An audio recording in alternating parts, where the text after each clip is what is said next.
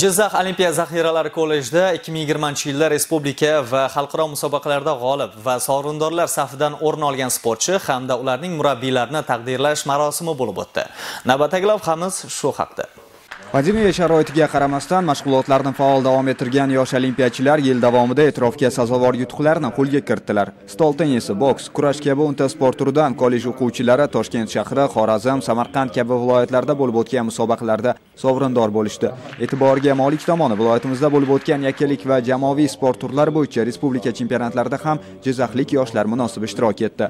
Jumladan 24-29 noyabr kunlari bo'lib o'tgan basketbol bo'yicha 2006-2007 yillarda tug'ilgan qizlar o'rtasidagi O'zbekiston chempionatida finalga qadar yetib borib, hal qiluvchi o'yinda farg'onalik tengdoshlarini mag'lub etgan qizlar mamlakat chempionligini qo'lga kiritdilar. Gandbol bo'yicha 2004-2005 yillarda tug'ilgan o'smirlar o'rtasida O'zbekiston chempionatida ham mezbon sifatida ishtirok etgan kollej o'quvchilari finalda poytaxtlik tengdoshlari bilan tengma-teng kurashib, yakunda kumush medalni qo'lga kiritdi. Quvonarli tarafi e, o'sha bugungi kunga kelib 132 ta medalga erishgan bo'lsak, bundan 30 e, ga yaqin oltin medal, kumush, mana oxirgi bo'lgan tekvando musobaqasida o'zim ham borib ishtirok etdim.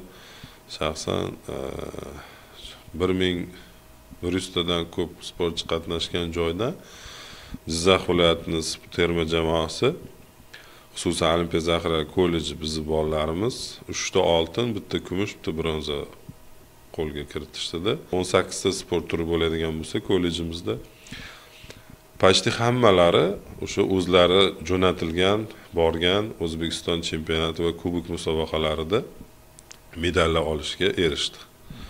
Bu yaxshi holat. Endi xudo xohlasa bu bilan to'xtab qolmaymiz.